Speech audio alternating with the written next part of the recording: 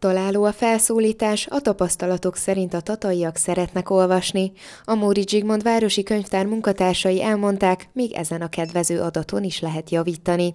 Számos állandó és hagyományos programmal csábítják a gyermekeket és a felnőtteket a könyvtárba, a könyvnapja kapcsán nyereményjátékot hirdettek. Hála jó Istennek nagyon sokan jönnek nap, mint nap, erről pontos statisztikát vezetünk, hiszen húzzuk a strigulákat, amikor belép valaki és hozzánk fordul ki kérdéssel vagy kéréssel, és egy napon olyan 60-80 olvasó legalább jön a felnőtt könyvtárba, és 30-40 fő a gyerekkönyvtárba, plusz még ha jönnek hozzánk osztályok, akkor ez a létszámtól függően még megnövekszik egy 20-30 fővel. Nyereményjátékra hívjuk fel a kedves olvasók figyelmét, melyet itt a könyvtárban hirdettünk meg, a könyvnapja alkalmából, melyet április 23-án ünnepel a világ. Ebből az alkalomból egy 12 kérdésből álló tesztet hoztunk létre, melynek középpontjában a könyv, könyvtörténet és irodalom áll.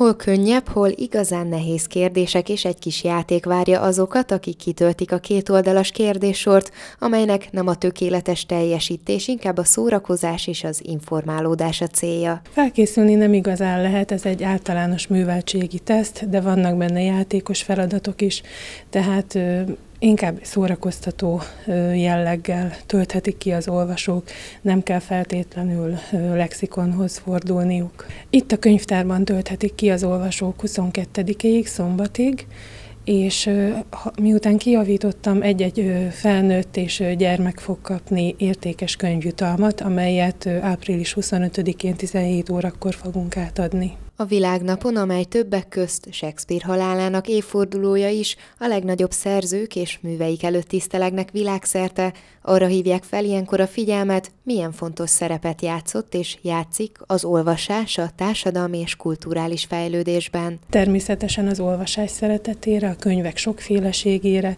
és arra, hogy mindenkit szeretettel várunk a könyvnapjától függetlenül is, hogy megszerezze a számára kedves olvasnivalót. Áprilisban még várja nagyobb program az olvasóközönséget a könyvtárban.